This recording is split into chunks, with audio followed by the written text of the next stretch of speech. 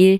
스펀지 케이크 제조 시 덮게 하는 방법을 사용할 때 계란과 설탕은 몇 도로 가온하여 믹싱하는가? 1. 섭씨 30도 2. 섭씨 43도 3. 섭씨 55도 4. 섭씨 70도 정답은 2. 섭씨 43도 2. 케이크 도넛을 제조할 때 설탕을 정상보다 많이 사용하면 나타나는 결과는 1. 기름 흡수가 적다. 2. 껍질이 부드럽다. 3. 기공이 열린다. 4. 조직이 거칠다. 정답은 3. 기공이 열린다. 3. 젤리로를 마는데 터지는 경우를 감소시키기 위한 다음의 조치 중 부적당한 것은 1. 설탕 일부를 물엿으로 대체한다. 2. 팽창제 사용을 증가시킨다. 3. 덱스트린의 점착성을 이용한다. 4. 노른자를 감소하고 전란을 증가시킨다. 정답은 2. 팽창제 사용을 증가시킨다. 4. 슈크림의 제조 공정에 대한 설명으로 틀린 항목은 1. 물에 소금과 유지를 넣고 센 불에서 끓인 후 밀가루를 넣고 저으면서 완전히 호화시킨다. 2. 섭씨 60도에서 65도로 냉각시키고 계란을 소량씩 넣으면서 매끈한 반죽을 만든다. 3. 보통은 원형 모양 깍지를 이용하여 평철판에 짜놓고 물을 분무하여 껍질이 빨리 형성되는 것을 막아준다. 4.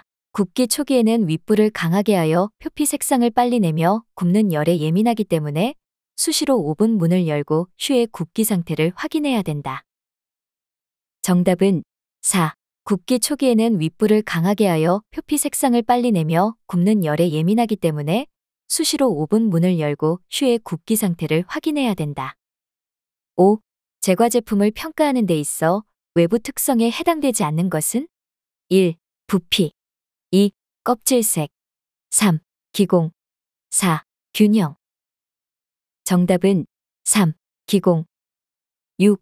휴제조 시 굽기 중간에 5분문을 자주 열어주면 완제품은 어떻게 되는가? 1. 껍질색이 유백색이 된다. 2. 부피 팽창이 적게 된다.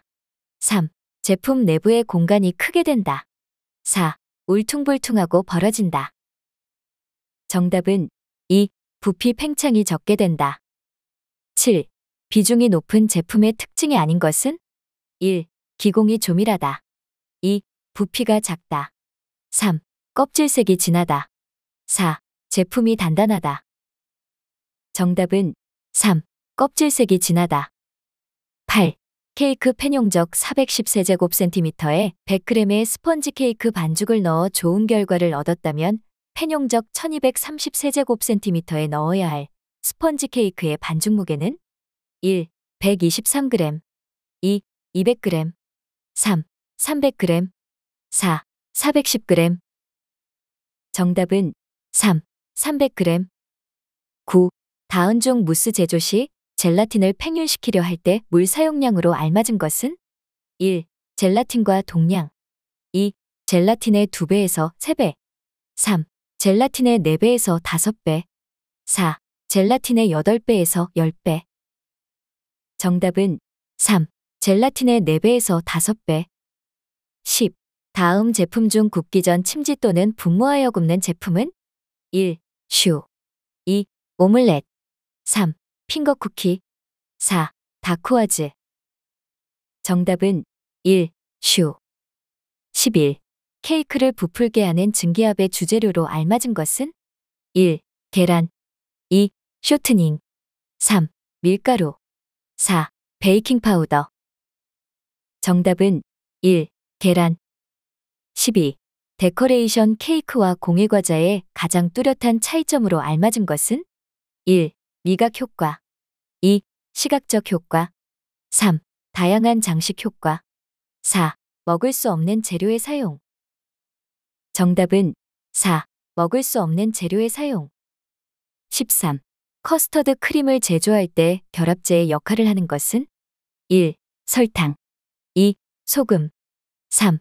밀가루 4.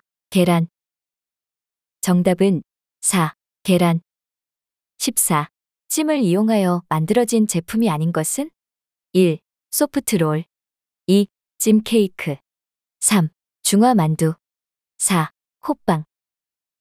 정답은 1. 소프트롤. 15. 주방의 설계와 시공시 조치사항으로 잘못된 것은 1. 환기장치는 대형의 한 개보다 소형의 여러 개가 효과적이다. 2. 주방 내의 천정은 낮을수록 좋다. 3. 바닥의 배수구는 측면에 설치한다. 4. 냉장고와 발열기구는 가능한 멀리 배치한다. 정답은 2. 주방 내의 천정은 낮을수록 좋다. 16. 제빵에서 탈지 분율을 1% 증가하면 추가되는 물량으로 가장 적당한 것은? 정답은 1. 0.7%. 17. 스펀지 도우법에서 스펀지의 표준 온도는 얼마인가? 정답은 2. 섭씨 23도에서 24도. 18. 제빵 시 베이커리 퍼센트에서 기준이 되는 재료는 1. 설탕 2. 물 3. 밀가루 4. 유지 정답은 3. 밀가루 19.